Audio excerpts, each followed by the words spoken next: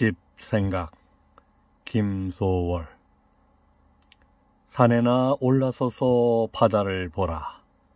사면의 백열리 창파 중에 객선만 둥둥 떠나간다. 명산 대찰이 그 어디매냐. 향한 향합 대그릇에 석양이 산머리 넘어가고 사면의 백열리 물소리라.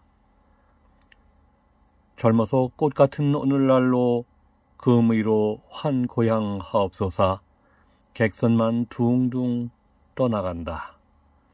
사면의 백열리 나 어찌 갈까? 까투리도 산속에 새끼치고 타관만리에 와 있노라고 산중만 바라보며 목매인다. 눈물이 앞을 가리운다고.